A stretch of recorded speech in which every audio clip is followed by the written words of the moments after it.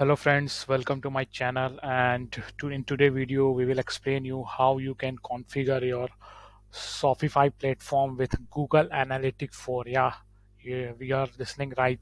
Shopify has introduced their uh, GA4 integration. So now you can integrate your e-commerce tracking with your Shopify platform within 4 2 to 4 minutes. So let's start. Uh, you need to log into your Shopify back panel and then need to click app then you need to search for Google and then it will take you to the app section. If you have already installed that app then you're not required to install. But in case you have not already so you can see a Google channel app which is free to install. You just need to click here and add an app so it will just take few seconds and it will get added to your uh, Shopify website. Now once it get added we need to add click here to add the sales channel. In case you have already uh, installed this app for a Google Ads tracking then you are not required to reinstall.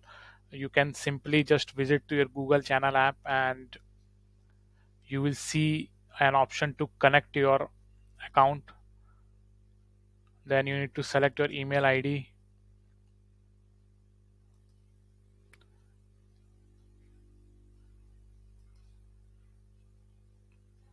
so it will now get connect to your ID now simply you need to scroll down and you can see here looking only to set up for GA4 so you can click here get started. So let's click here get started.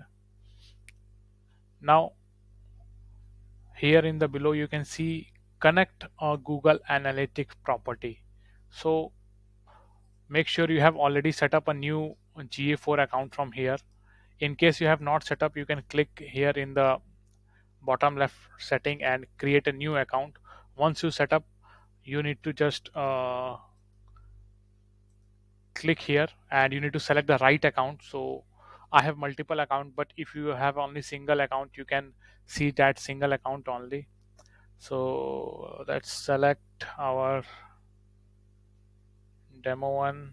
Yeah this one. And connect. So this is what exactly you need to do and your e-commerce tracking is now ready and you should be able to see now e-commerce tracking on your website. Now just to show you in the demo how it's going to work let's go to the website and how you can verify. You just need to click here and let's go to the product page on any page on product section.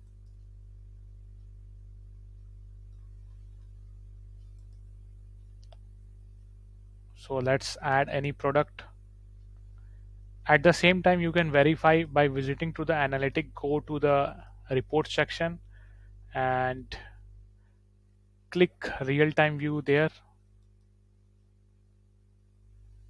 So you can see right now one user is there in the real-time view. Moreover, when you scroll, you can see events, other events like product view.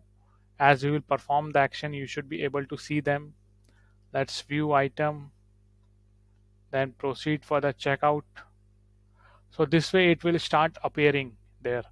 And finally once you make a purchase your purchase event would be also going to display here. It can take few seconds to appear here. You can see add to the cart event is here view item is here and checkout will also appear here soon. And once you will make a purchase purchase would also be get reflect here.